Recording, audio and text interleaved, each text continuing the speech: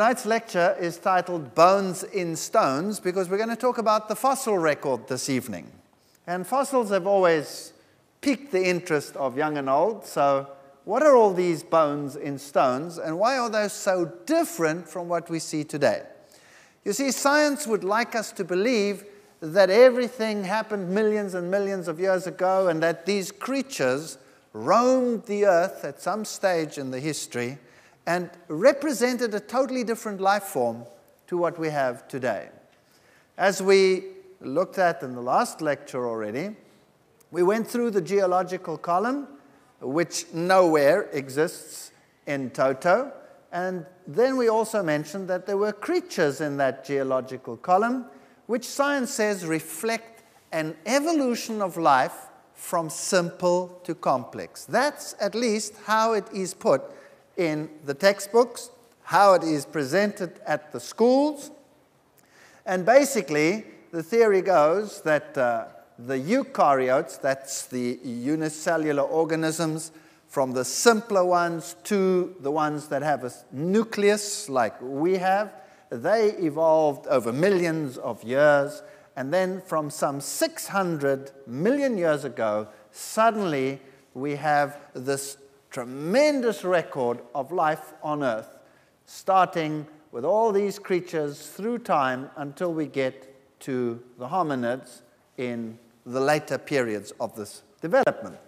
And we are told that this evolution is one that reflects simplicity to complexity.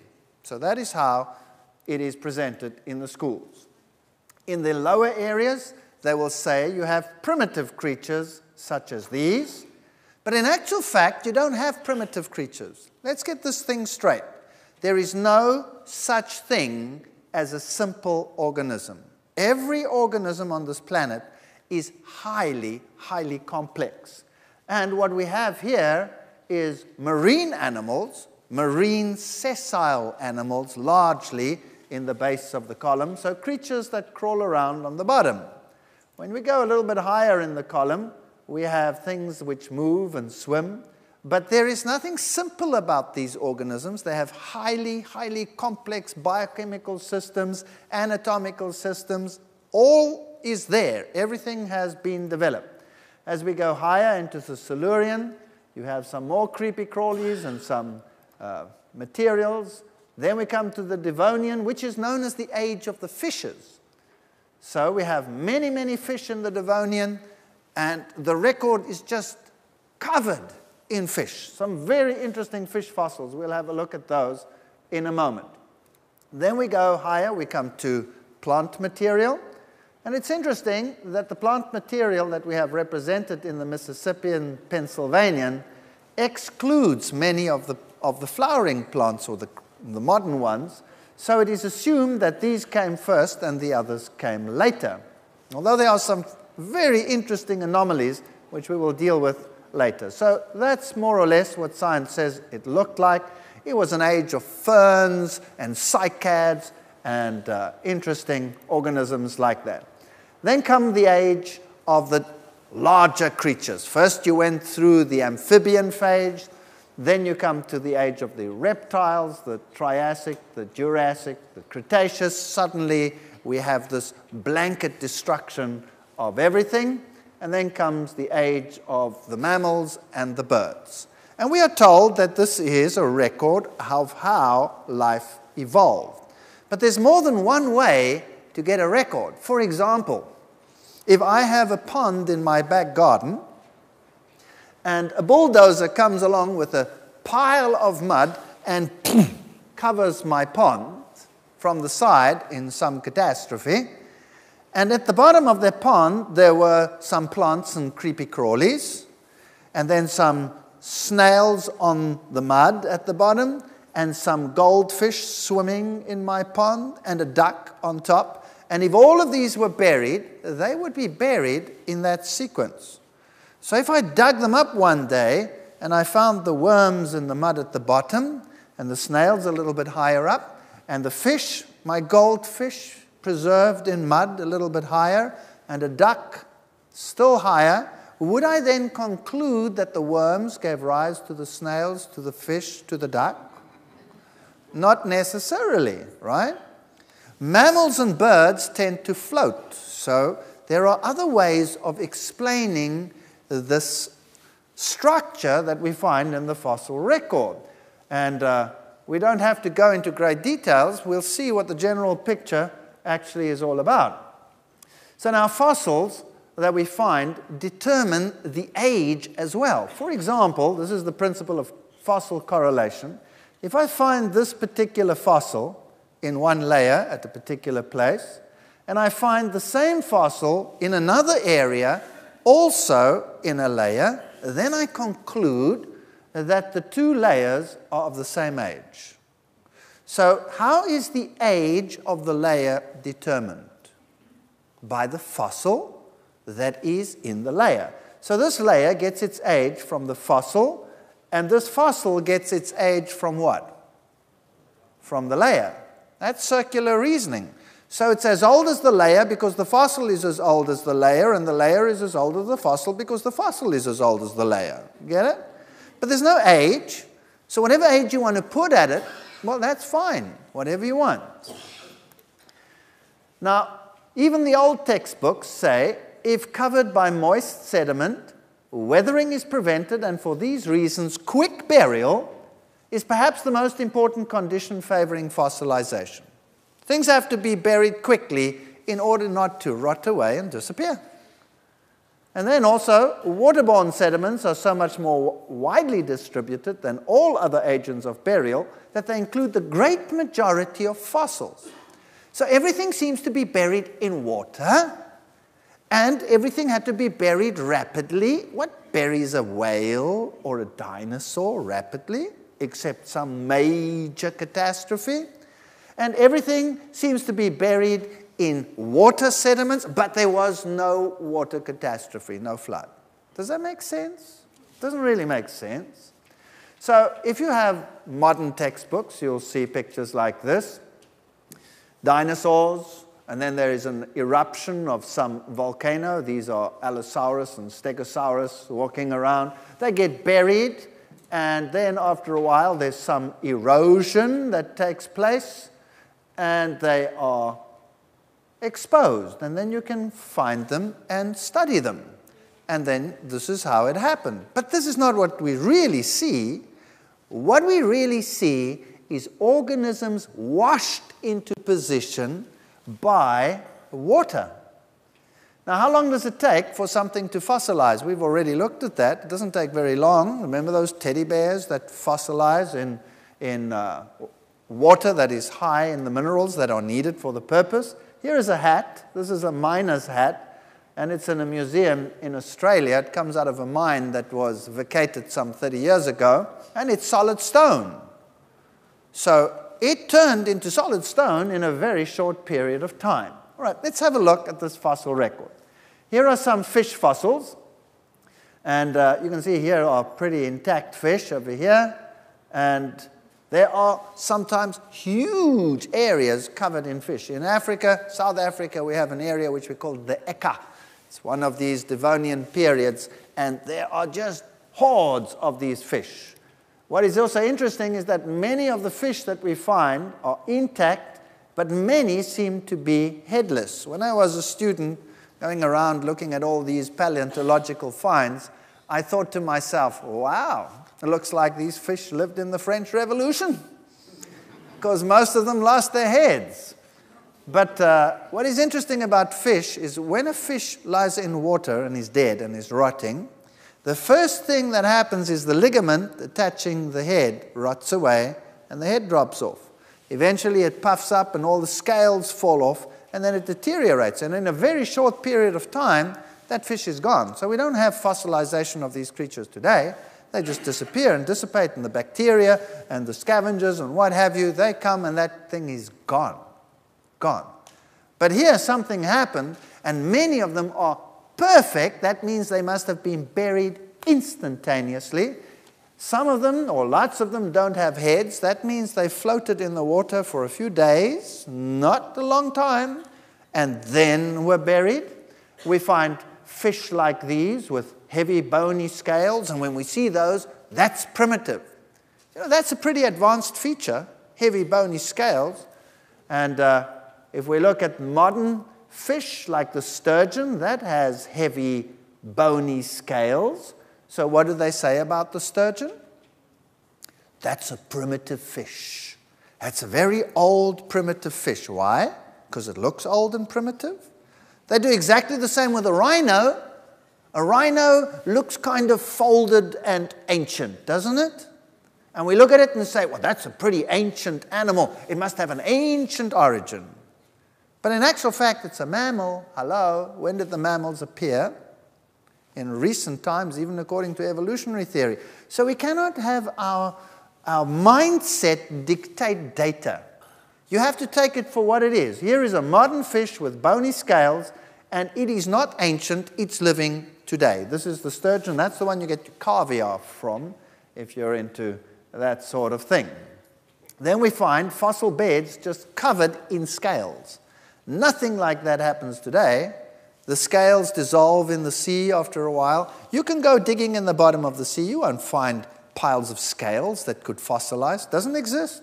So this is catastrophism. It's much like the bark that was stripped of trees when they're rolled in the water and get buried as bark layers, which doesn't make any sense if you don't have a catastrophe. Here are some interesting features. Fish, small, large, buried together, and sometimes you have fossils where a fish is actually eating another fish while it is being fossilized. So, what was, this, what was happening here? Obviously, during this event, this fish was swimming around, took a bite, and before it could say, Jack Robinson, what happened? it got buried. It was gone.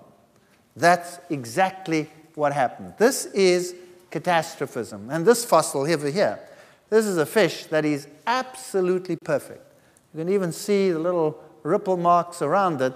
This fish was literally buried alive instantly because the preservation is perfect. The oxygen was cut off instantly.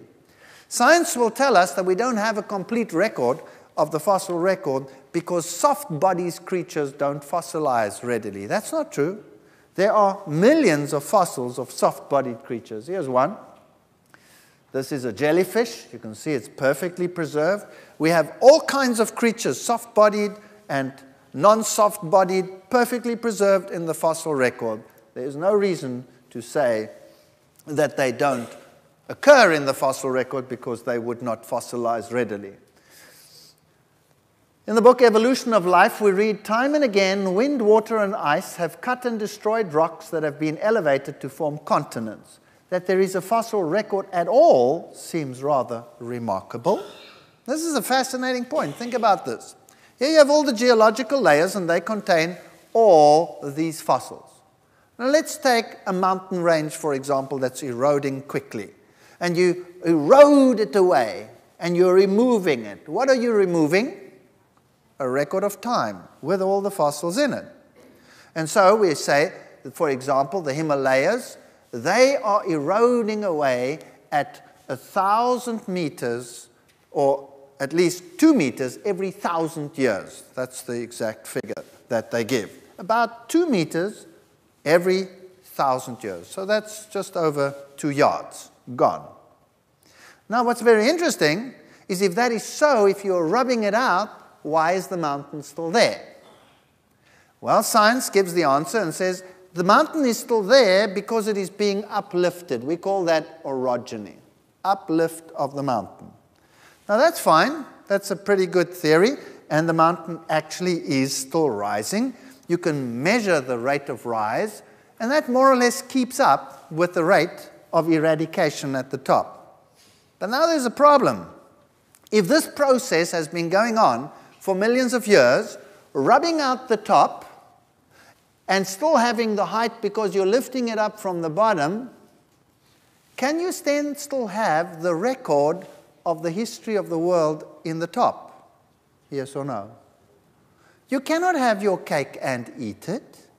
You cannot rub it out and say it's eroded away, but it's still there because we've lifted it up. Then you should have only the stuff right at the bottom that is still there.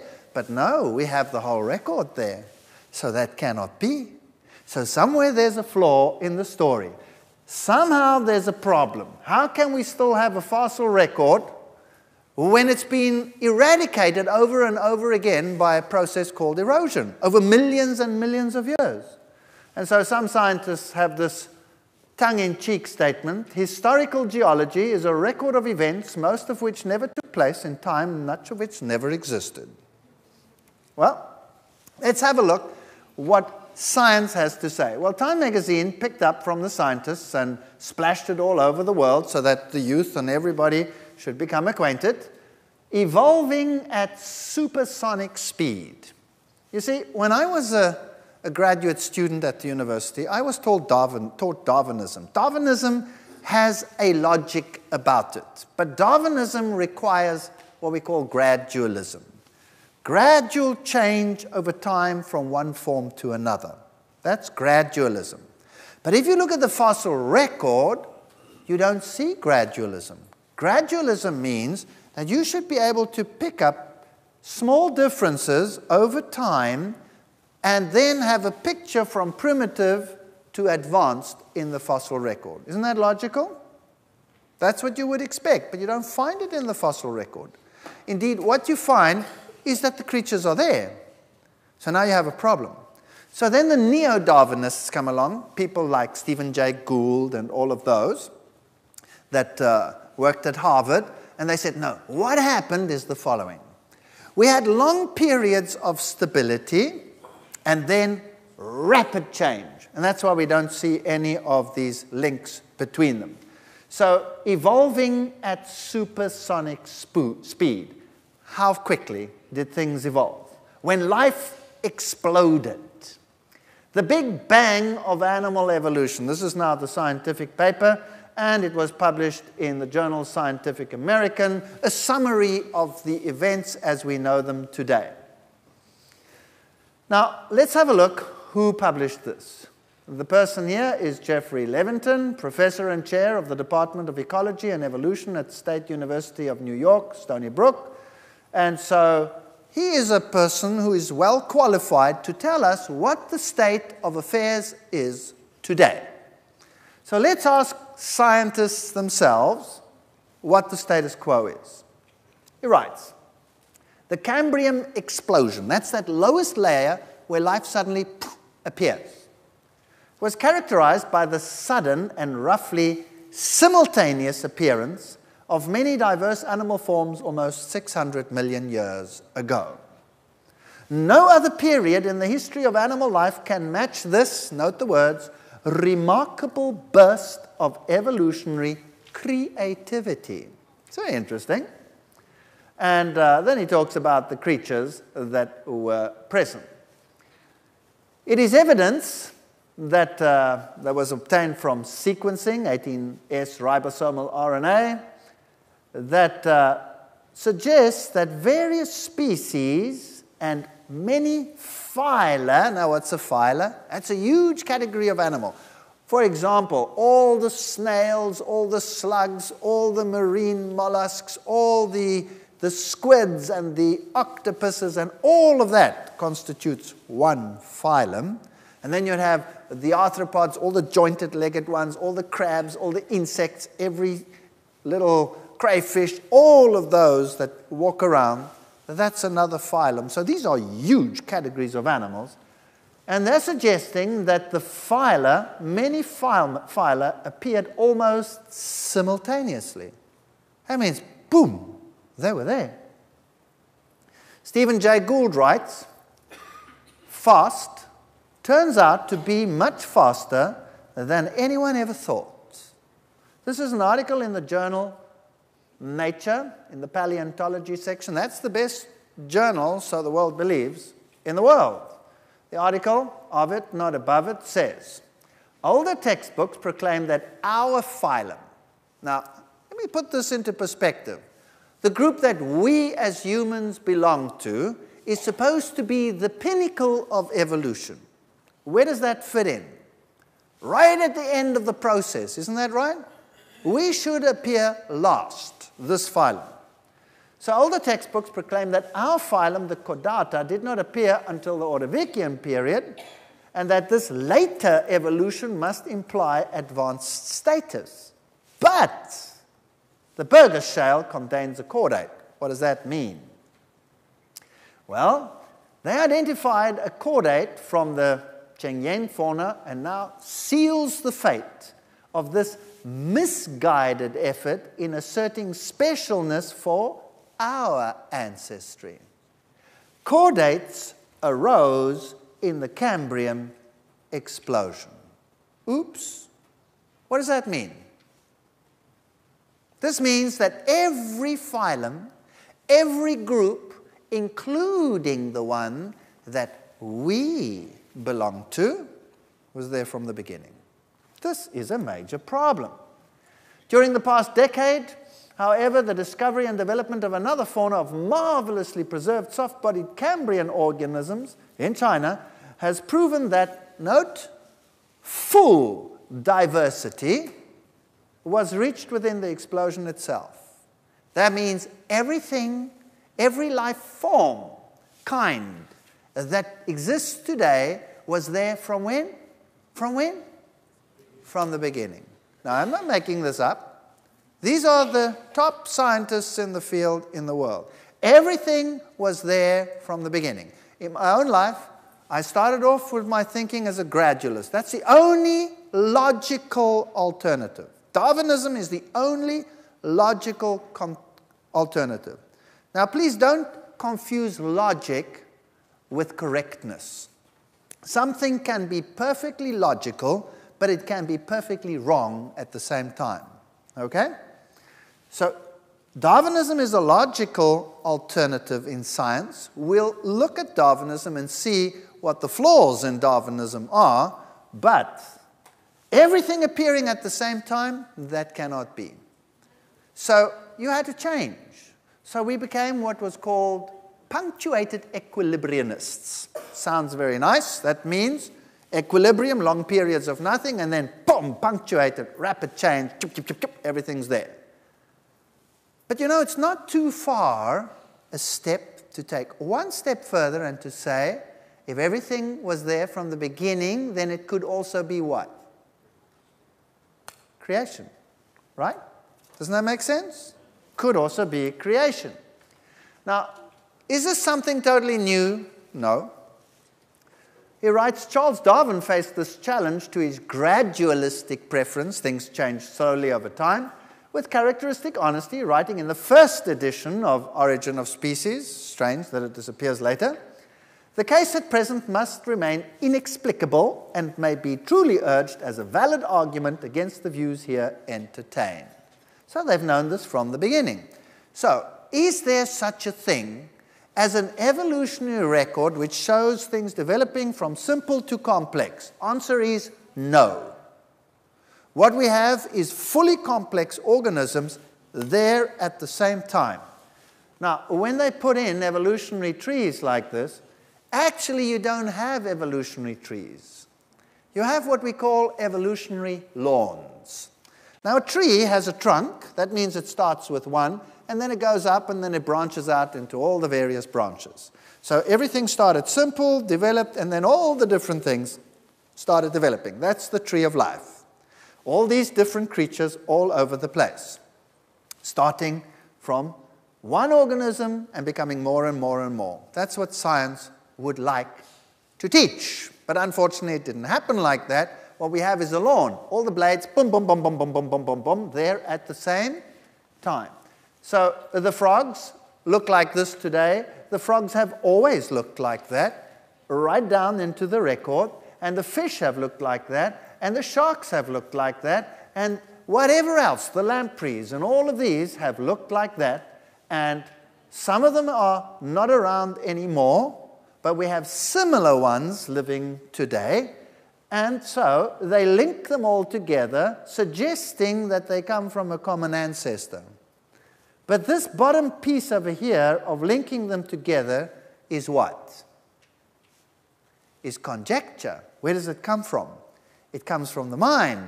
It doesn't come from the fossils. That's very important that we realize that. So if we look at the reptiles, the turtles, for example, you never find a half formed turtle, or a quarter turtle, or a third turtle, or a piece of something developing into a turtle. When a turtle appears in the fossil record, it's a what? It's a turtle. Finished. If the lizards appear, they are lizards. Snakes are snakes, etc., etc., all the way through. And the linkages are conjecture. Let's have a look at some of the criteria. Evolutionary processes require, number one, advancement from simple to complex. That would be logical, right? That's what evolution requires. Number two, evolution requires development from small to large. That's called the law of Carroll. Carroll was a scientist who said everything had to start from small and develop to large. There is no other way. That's logical. Think about it. You don't start with a rhinoceros and end with an amoeba. You start with an amoeba and you develop all the way up to the rhinoceros. That would be logical. Is that correct? So that's a perfectly logical assumption that you would make if evolution was correct. And also, if life started somehow fortuitously somewhere on the planet, suddenly it was there, then there would have only been one. And eventually they could have become more and more and more and more and more if the theory is correct. So we start with low diversity to high diversity. That's logical. That's what you'd expect. But what do we have? No, we don't have that at all. We have irreducible complexity. Suddenly they're there, boom. And some of the features in what we have cannot be simplified. They will not work if they are simplified. So they have to be complete. Everything has to be there, boom. Some of the organelles and structures in living organisms are so complicated and need so many building blocks and parts that if they're not complete, they wouldn't work. So, boom, everything has to be there at the same time. So we don't have advancement from simple to complex. Everything was always complex. Does, do we have small to large? No. If we go into the past history, everything was bigger and larger and more magnificent than it is today. Today we have but a fraction of what used to exist in terms of size and in terms of diversity. We have reverse diversity. We would expect low to high, but we find far more creatures in the past than exist today. In fact, we only have a fraction left of what used to live. So we find exactly the opposite to what is to be expected. Well, that's a problem.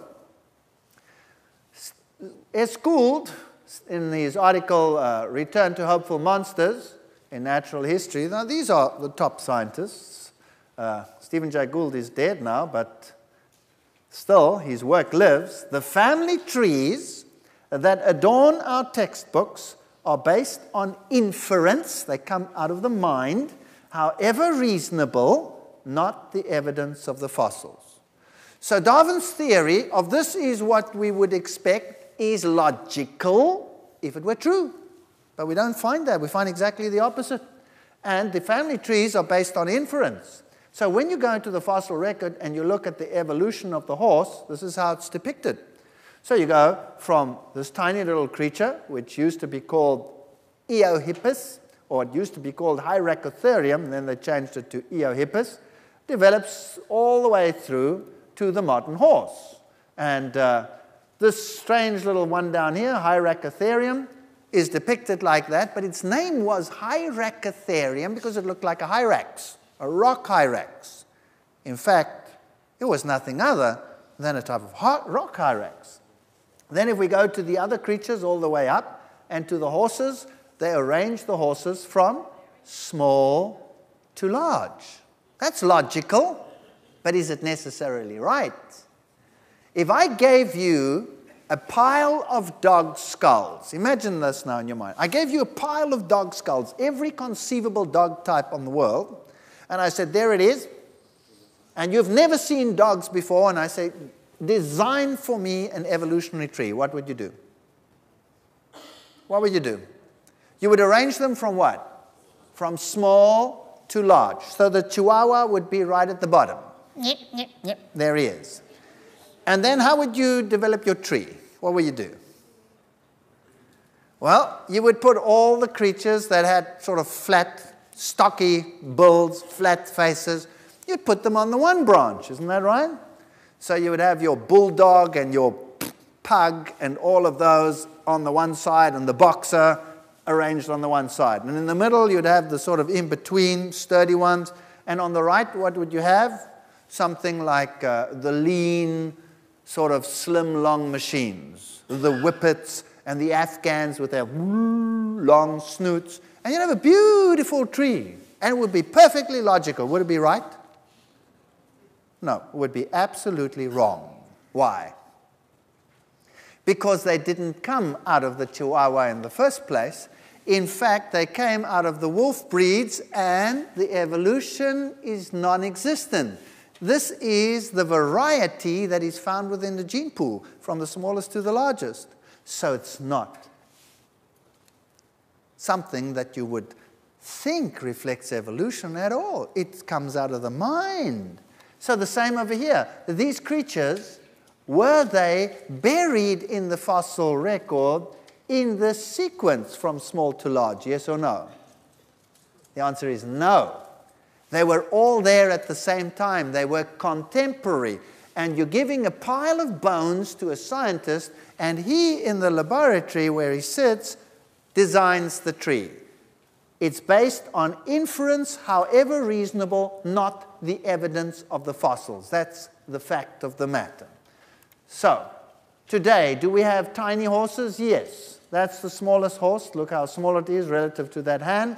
And that's the largest horse. That's the variation in the horse breed today. This has nothing to do with evolution. Nothing to do with evolution. Is that an ancient horse and this a modern horse? No, they both live at the same time. You have the entire range over there. These horses are magnificent creatures, but they are totally different to other horses. These are the very special breed of horses that you find on Iceland alone. They have got features which are totally different from modern horses, but we know that these horses are derived from normal horses that the Vikings took to Iceland 1,200 years ago. So these changes that we see have to be accounted for, but this is nothing other than a normal horse. So now let's go to the dinosaurs and all these interesting creatures. Well, here was an article in Time magazine about dinosaurs. Surprise, just about everything you believe is wrong. Well, that's nothing new. What did they look like? What were they? Did they give rise to birds, as is being told in the world today? Here's a sort of artist's impression of the Mesozoic period with all these creatures running around. Did they die in hot water? How did they die? Why did they only exist here in the Triassic, Jurassic, and Cretaceous? Why are they gone now? This is a typical tree of the dinosaur evolution, starting with the amphibians, and then how they all evolved, and there are all the modern ones sitting on top of the tree. Is this true or is this conjecture? What is it? It's inference, conjecture, but it's not based on the fossils. So, how did they get that?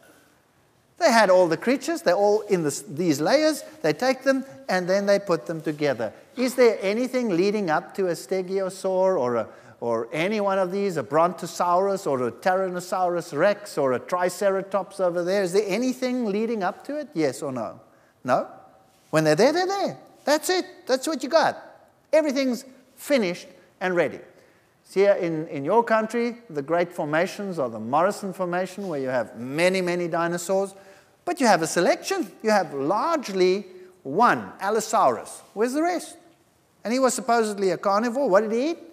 Why aren't those fossilized as well? There are strange assemblies of fossils. And then, if you look at them, these creatures are orientated in the direction of stream flow. There's an Allosaurus for you. Or this one over here, the terrible terror, Tyrannosaurus rex. Now, what happened to him? Was he a vicious, vicious carnivore? What did uh, Jurassic Park do with this creature? Everybody was running around, around screaming in fear. Is that correct? Because this vicious carnivore was going to destroy everything in its path. Why is it a vicious carnivore? Because of its teeth, right? Now, if you look at this creature, you have to remember a few things. This was a giant animal walking on two legs with tiny little hands in the front. If it had to catch something, with what would it have to catch it? With its front little paws, and it would have to bend down and try and catch it with its mouth while this creature was trying to run away. Now, there's a law in science which determines what can be a carnivore and what cannot be a carnivore. You see, an elephant would make a very poor carnivore. Why? Because it is too huge, it is too bulky, it has too much momentum when it is running. Can you imagine an elephant trying to catch a gazelle? And the gazelle is going, the elephant's going, and the, and the, and the gazelle goes, and the elephant goes, mm. for another five miles, makes a U turn, and tries to come back. Forget it. They will be useless as carnivores. So, what do they do? They eat plants. I could still envision an elephant being a scavenger, maybe, but would he get enough to eat? It would be a catastrophic life if even a fox becomes as thin as a rake from trying to find enough food. Isn't that right? So, large animals like these, just by sheer body mass, would be relatively useless carnivores. And then those teeth. Those teeth are in very shallow grooves. So they are good for crushing, like shredding machines, crushers. But holding on and ripping out, it would not be very effective. So, were these creatures really what we make them out to be? Fresh T Rex bones. This is in the journal Science. It was like looking at a slice of modern bone, but of course I couldn't believe it I said to the lab technician, the bones, after all, are 65 million years old. How could blood cells survive that long? You see, we found bones with blood cells still in them intact. Could they be millions of years old? Yes or no? These are questions which boggle the mind. Maybe these creatures didn't live so long ago, and maybe these creatures were not what science would have us believe them to be. If you go to a museum of natural history, any one of them, this is what you will see dinosaurs running around, and what are they all doing? They're all ripping each other apart. Isn't that right? They're all ripping each other apart, bleeding and, and blood gushing, one screeching and running while the other one is taking a bite out of the side. That's what you see out there. Here you see another one. These come from the British Museum of Natural History. This one being attacked, and uh, you have much blood and gore and ripping. And the displays that you have, you have the blood around the, the face and the blood around the, the feet and all of these things. And these things are all depicted as highly vicious. Do we have creatures today that have short little arms in the front and big legs at the back? Yeah, we have kangaroos. They're great carnivores. Have you seen them running around killing everything? Blood all over the place? No, you don't. You know, the anatomy is just not suitable for that. So, what is the story over here? Is it really like that? Well, you had tiny little dinosaurs like this one. Some dinosaurs were just the size of a chicken, not very big.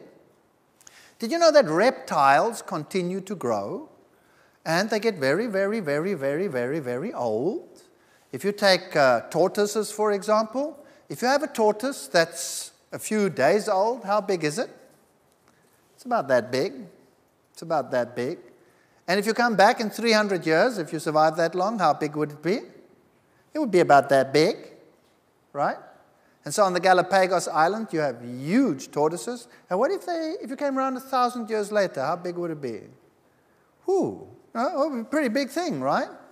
And uh, we have some very amazing creatures today. Here is uh, one of them in display in the Museum of Natural History in London. You can see by the scale of things. I mean, these things were huge. This creature was probably a swamp creature, walking in swamps and feeding off the swamps. And here is a Triceratops, obviously a plant feeder. Look at its mouth. It's exactly like any creature that would eat plants. Tortoises have mouths like that, so this was a plant creature. So it had these vicious horns on the top. Brr. Why? Well, you see, ha- it had to protect itself against what? Against all these vicious carnivores. And it had this huge defense mechanism to do its job. That's what science is teaching our young people today. That's the image that we have with us. Hello? What's that? That's a chameleon. And it has three horns on the top. That's a modern Triceratops. a small one. Some chameleons get pretty big, like this. Some are very small. We have all kinds of varieties. And these horns over here are to protect it against all the vicious carnivores all around. True or false? Very false. What are those horns for? Those horns are there to look sexy. exactly. When a female looks at those horns, she, her knees just begin to wobble. and that's what happens. Now, this is a very common thing in nature. If you take reindeer, for example, what do reindeer look like in the breeding season? What does the male look like? He has these huge antlers. He is so impressive, right? And the bigger they are, the cockier he is, right? And then the breeding season comes and the males, they test their horns and the females watch and are very impressed. And the guy with the biggest antlers, you know, like the, youth today with the best hairstyles, they get the ladies. That's the way it works. Everything works like that. What happens after the breeding season? to a reindeer's antlers. They fall off. Now, what if they were really there to keep all the vicious carnivores away? He would be in big trouble for most of the year, right? Nothing to protect himself. This is a mindset that is being placed in the minds of men that does not have a basis in reality. And these creatures were probably no different to the lizards and the creatures that we have today, just bigger everything was bigger. We find dinosaur eggs, yes, and then we have museum depicting them in their little nests breeding out, pretending that everything is very normal and we can find the eggs, yes. But how do we find these eggs in the fossil record? They are all washed into great washes. They have all been buried in catastrophic flood deposits. There is no such thing out there as a natural setting that would pretend to be anything like it is today. Dinosaur footprints all over the place. If you look at the way in which the impression was made, then it appears that in the past the animals all walked uphill because most of the footprints seem to go upgrade. You can't look at the topography today. You have to look at what it was like because there could have been uplift and downlift. So when these animals made the impressions, they were making impressions in mud, and they all appear to be running uphill. Why would animals always run uphill? What makes animals go uphill? Maybe rising floodwaters? Is that a possibility? So there are over 100 published theories about the extinction of the dinosaurs, ranging from the fascinating to the absurd. Do any of them explain the death of the dinosaurs? What are the facts? Why so many theories to explain something that is perfectly obvious? All of them that we find are buried in huge floodplains, washed into position, even orientated by floodwaters. Any eggs that there are are washed into position, but none of them died in a flood. Does that make any sense? Doesn't make any sense to me.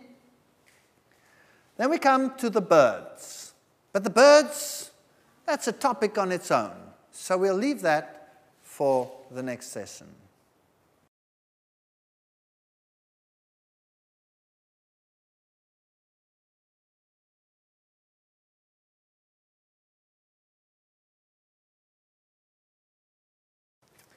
All right, did dinosaurs give rise to birds? That's a very interesting question. Science says yes. That is at least what we are taught. That's what the kids are taught. Oh, yes, there's the oviraptors and the velociraptors and all these strange looking creatures all over the place. and they're depicted as taking care of their little eggs. And uh, we have fossils where there are feathers, and there was a transition from the dinosaurs to the birds. Archaeopteryx, a very famous fossil, is now generally accepted that Archaeopteryx was a bird with fully formed flying feathers and a wishbone. Here is the prime candidate today for the transition. This is Sinosauropteryx, and there is the fossil. And if you look carefully, you'll see these little things over here, which seem to be feather impressions, although they're not very clear as feather impressions at all. And we'll see what the top scientists in the field have to say. These are all publications in journals like the journal Science, which is, of course, the equivalent of Nature, so great journals.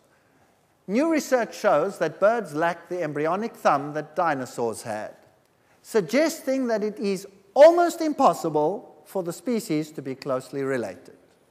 Here's another statement. A team led by bird expert Alan Feduccia, chairman of the biology of the University of North Carolina, studied bird embryos under a microscope and published their studies in the journal Science.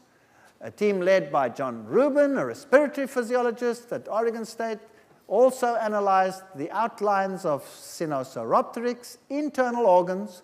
Its bellow-like lungs could not have evolved into the high-performing lungs of modern birds. You see, it's more than just feathers. Ruben, an ancient bird expert, Larry Martin believed that the so-called feather traces are actually frayed collagen fibers beneath the skin. So maybe they're not feathers at all. Feather expert Alan Brush, University of Connecticut, Storrs points out that they lack the organization found in modern feathers. So these aren't feathers at all? Is that what they're saying? Well, if we look at lungs, for example, that first story, mammals have lungs like these, where the air goes into a little sac like a balloon, and you breathe in, balloon fills up, you breathe out, balloon empties out.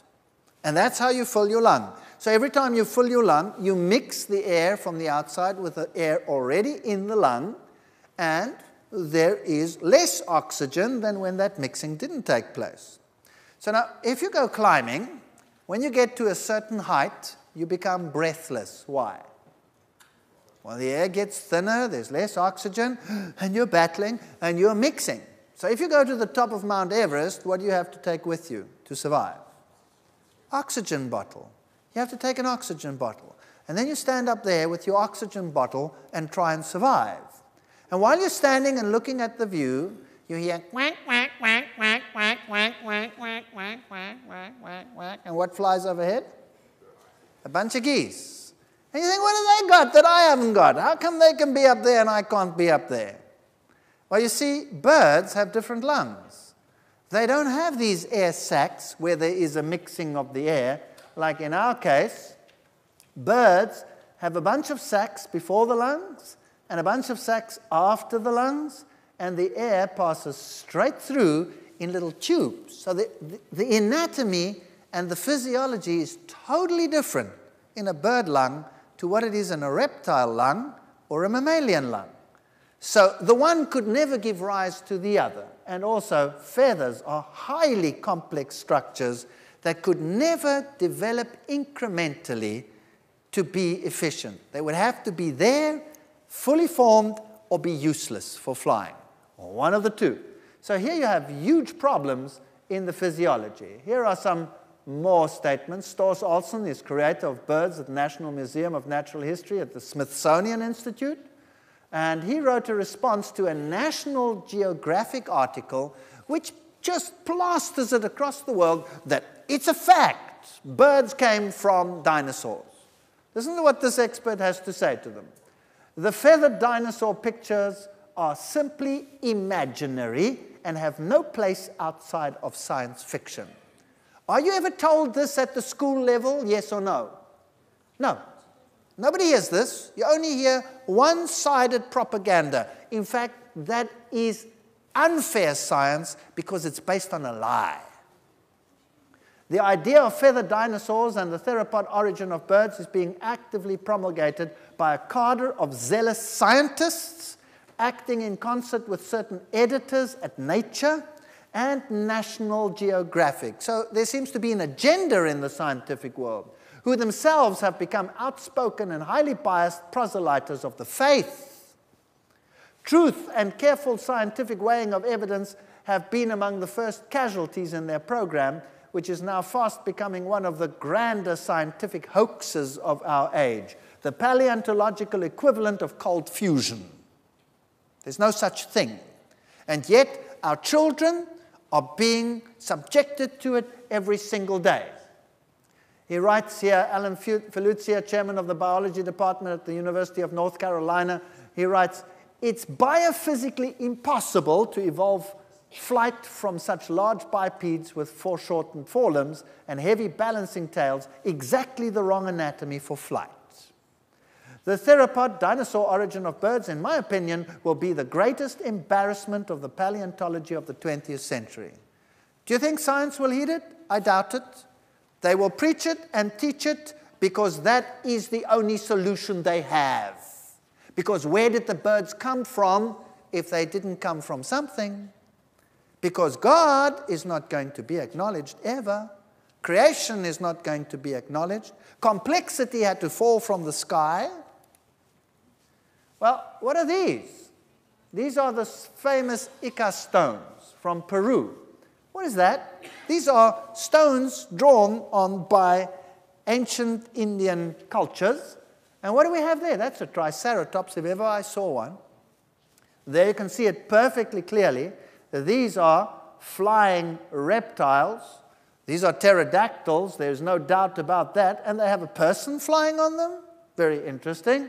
And they have all these creatures on the Ica stones. Is it possible that man and these creatures lived contemporaneously? Where do all the legends come from, from dragons and fighting this? Do you know that ancient writers who are not even writing about science, but poets or, or just historians writing quite generally, just in passing, mention that these creatures, which they call dragons, live in Africa or in the jungles here, there, and everywhere. There are many, many, many occasions where there are records of such sightings. And then you have these strange things over here. I don't believe that the lizards in the past were any different to the lizards that we have today. If you take this modern lizard that lives today, the basilisk, that sprint across jungle streams, and you look at this creature, doesn't he look like something from science fiction? Isn't it cute? I think he's absolutely delightful. But imagine a paleontologist got hold of this fossil. What would he do with it? It would be the most vicious looking creature under the sun. When actually, it's a cute little thing that sits there and is there for the amusement of the eye. George Gaylord Simpson, one of the doyens of evolution, says it has been suggested that all animals are now specialized and that the generalized forms on which major evolutionary development depend are absent in fact, all animals have always been more or less specialized, and a really generalized living form is merely a myth or an abstraction. What does that mean in simple language? He says there's no such thing as a simple animal that became complicated. It's a myth. When we look at the fossil record, everything is complicated. At the same time, what do we have in the world today? Scientists agree world faces mass extinction. Quarter of the mammals face extinction. Only 10% of the big ocean fish remain. That's what the world is knowing. This is a fact. So everything is disappearing, which explains why everything was more in the past than it is today. Doesn't that make sense? If we are slowly, slowly eradicating things by extinction, sooner or later we'll have what? Nothing left. Natural selection is doing a great job of removing everything from the planet. So if we look into the past, it was a far greater world than we have today. And science is distorting the picture. It's not what it seems to them. These creatures were just around. So, young folks, if the world were ever restored to what it was, what a delight it would be. How many creatures there would be. If you look at the fossil record, we had strange creatures in the past that don't live today. But what is an ammonite? An ammonite is a highly, highly complex squid like creature. that lived in a shell and swam through the sea just like modern squids without their shells. So there you have these creatures. They're complex. There's nothing simple about them. These are the trilobites, depicted as ancient and the first organisms to evolve, which is rubbish because we saw that everything was there at the same time. And what are they? They're arthropods, highly complex. They don't live today, but there's nothing simple about them at all. They tunneled, they had all the equipment that they needed. This is Nautilus, ancient so called living fossils. That's the living form, that's the fossil. They were identical, nothing has changed.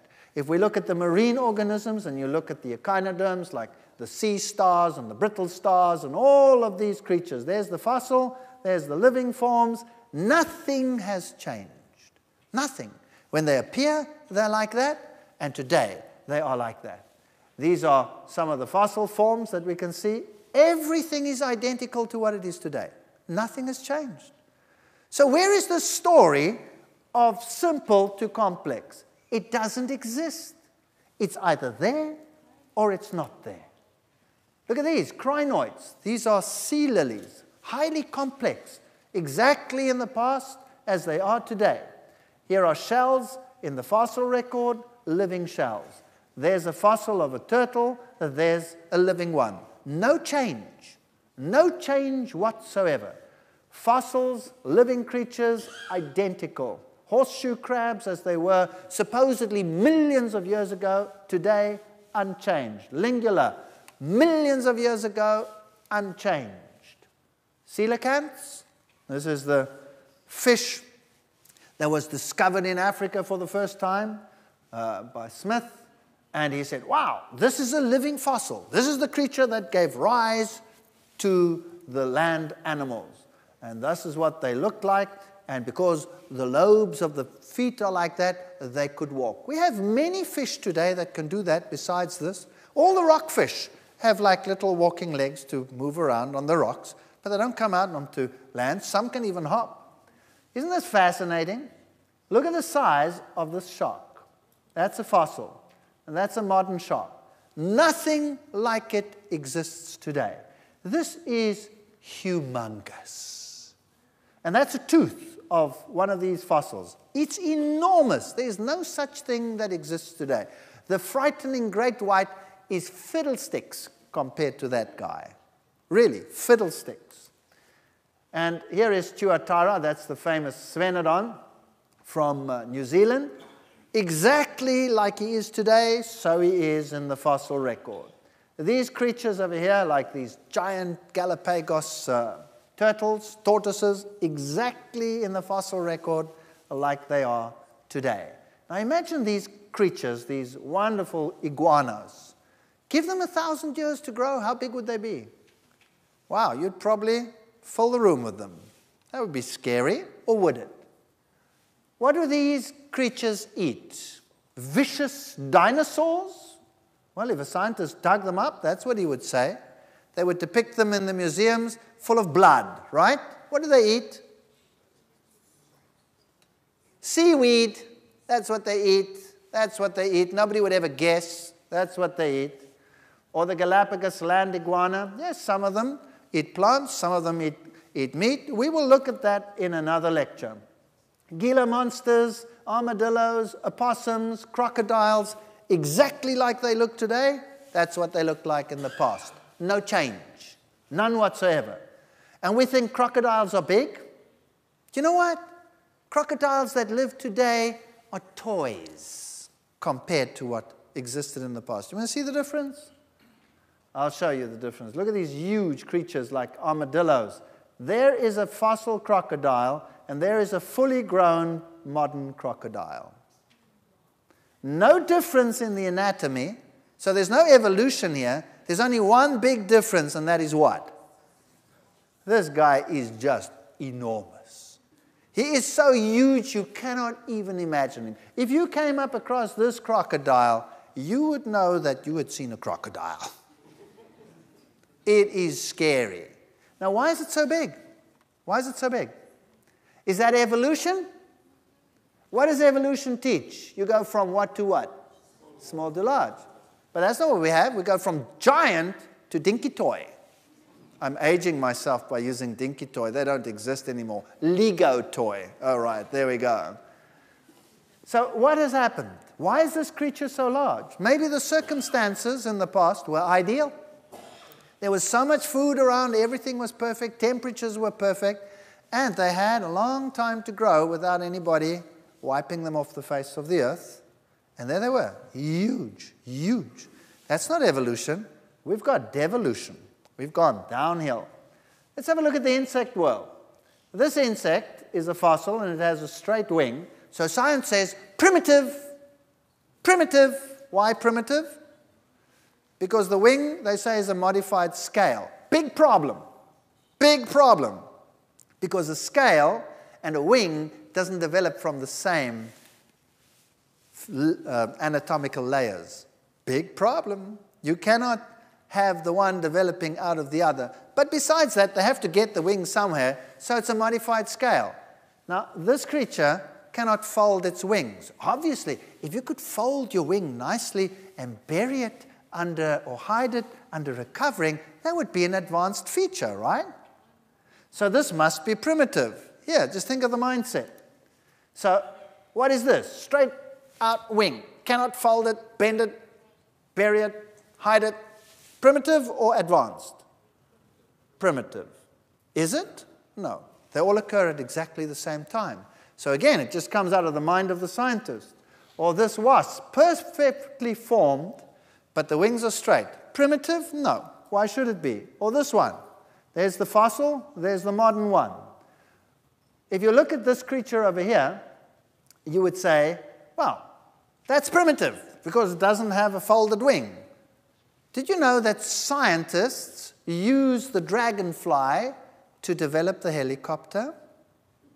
And the helicopter cannot do a fraction of what this creature can do. This creature can go whatever it wants to do. It's magnificent. The design is absolutely astounding. We cannot even copy it. It's so perfect. But it's primitive. Why? Because the wings are straight. And if you can fold your wings like this one, like a beetle wing, that's advanced. Then why do the beetles and the dragonflies occur in the fossil record at the same time? Or what about this problem? Why do we find bees' nests in the fossil record long before there are flowering plants? Hmm? What do they eat? Wait for 50,000 million years to get something to eat? I think there's a problem there. Here's a praying mantis, and there's a fossil, unchanged. Nothing has changed. Here you have an eye of an insect, one of the most intricate structures known in the world today. The eye, of course, works totally different to ours. Our eye already is a nightmare to, to evolutionists, but this eye is even more of a nightmare because it's made up of perfectly shaped little mirrors, and each of them has to be absolutely perfect to work. You cannot get this to improve over time, and there are hundreds of these reflecting the light absolutely perfectly. In fact, NASA used this eye to design the mirrors in the reflecting uh, telescopes that they use in space. They used this as a model. It's absolutely perfect. How did it come into being? Just like that? Because there's no incremental way in which it will work. It's either there or it's not. And do we have any evidence in the fossil record that there has been an evolution of the eye? No. Here is probably the most ancient insect that you can look at, and there's the eye. This is in amber, this is a fossil. Perfect. Perfect. No change. Here's another insect in amber.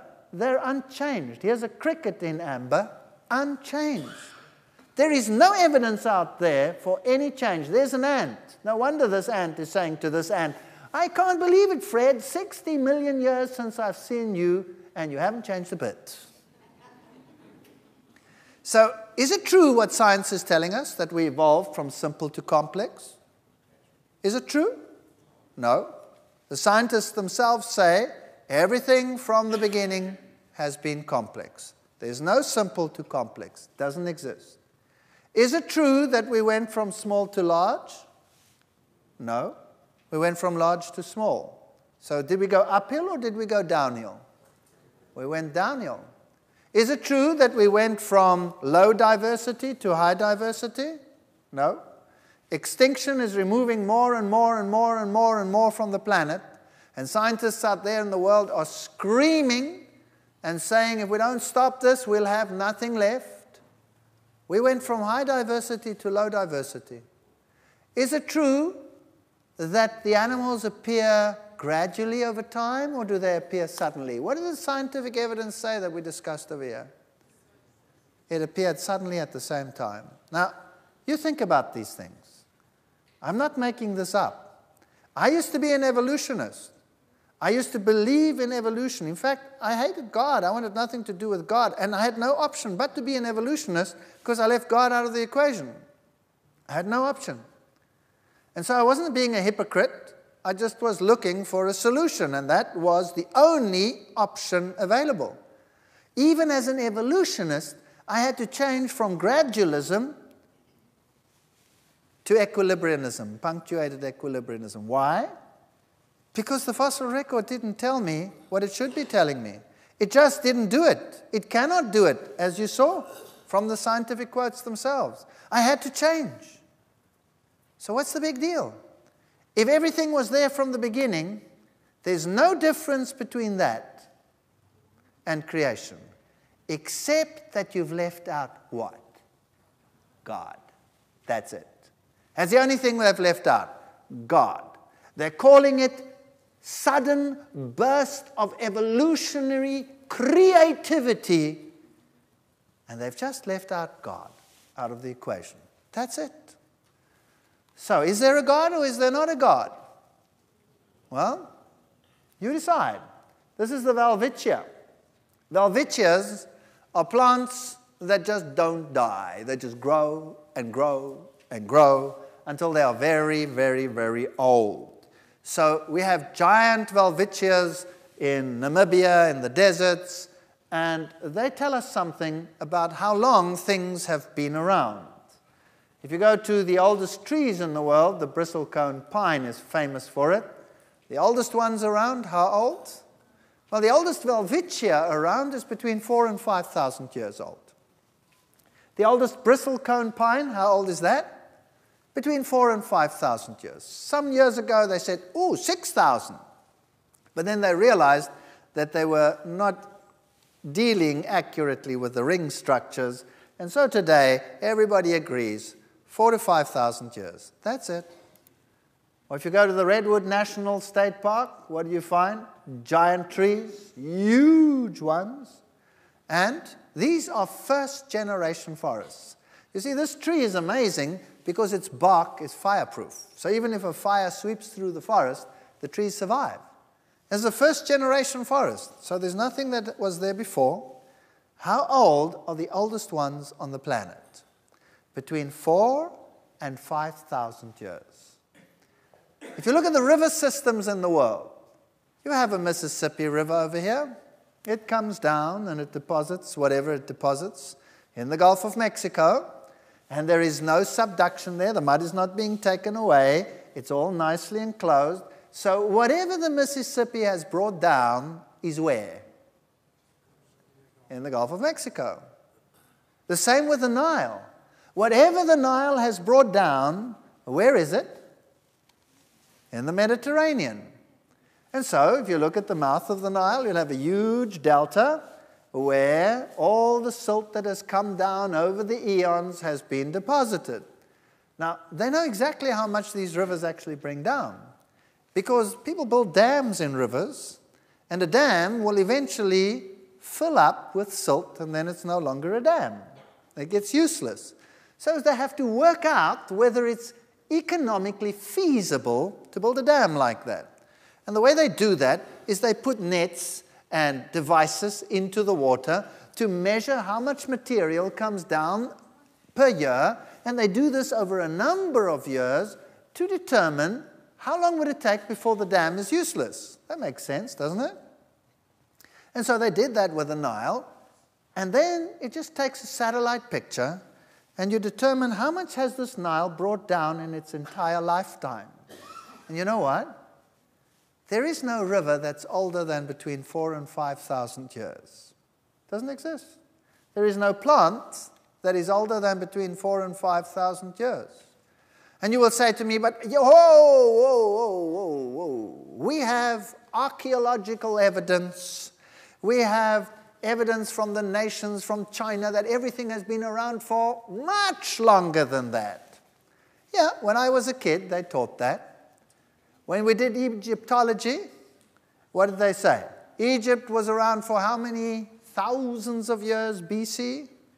And then, as the evidence piled up, what has happened to those dates? What has happened to them? What has happened to the dates in China? What's happened to the dates in Egypt? What's happened to the dates in Mesopotamia? What happened to them? They got shorter and shorter and shorter and shorter. And now, if somebody dares say 3000 BC, by the way, that's just 5,000 years, they will put a plus minus in front of it. Why? Because they know that in a couple of weeks' time, the time will come down. Why? You see, in the past, they used to put the kings all sequential. Let's say that one reigned here, the next one there, next one there, next one there, next one there, next one there. And they had a long list of kings and a long time. Because they knew this king reigned for so many years, that one for so many years, long time. And then one day they discovered, oops, yeah, it was father and son ruling at the same time. Or father and three sons ruling at the same time. And the time went new and then the time went, Nuke. and so eventually we're down to a very interesting scenario. Take the history of Europe. Man, if we've been around for millions of years, why can we only trace the history of Europe to a few decades, centuries, perhaps a millennia or two BC? Nothing there before. England, there was nothing on that island 2000 BC, nothing happening. So, really, we're dealing with very interesting phenomena. And these trees, yes, they're huge. You can drive a car through them. But the bottom line is everything appeared at the same time, everything was fully formed. There is no evidence of change from one form to another. There is top level scientific evidence that one form did not give rise to another, as they teach in our schools every single day. And I believe that these scientists are dealing with one basic problem, and that is a denial of divinity. That's it. That was my problem. Denial of divinity. It has nothing to do with science. Science has moved into the realms of faith. And you can choose for yourself whom you want to believe. That choice is yours. But you don't have to be exposed to lies in order to make a theory fit. Thank you.